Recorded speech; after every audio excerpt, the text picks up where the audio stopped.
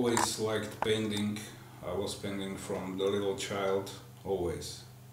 Uh, then I saw graffiti for the first time. It was somewhere in Germany. I absolutely loved it, tried it, and become addicted, doing this for many years. But then I realized uh, you can do graffiti in uh, winter, you know, it's cold outside. And there are always some problems with graffiti, you know, police and so on. So I decided to uh, try airbrush and it was for me a love at the first sight.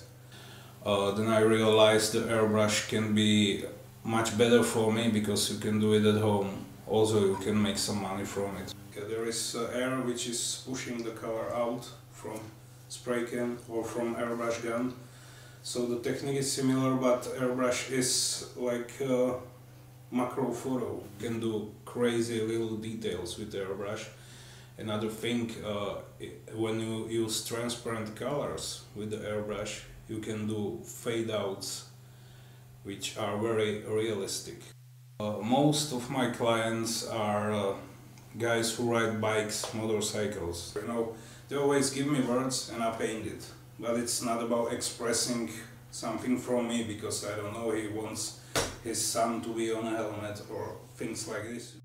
Then a uh, second group is uh, the owners of restaurants or clubs where I do some on-wall paintings. With this little helmet it's much more work than with big wall painting.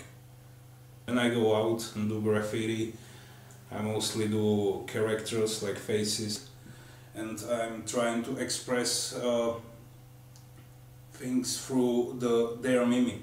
One of my ex-girlfriend told me when I go out and paint uh, something just for me, it's always very dark, like horror pictures, and I don't know why, but I want to uh, paint an airplane.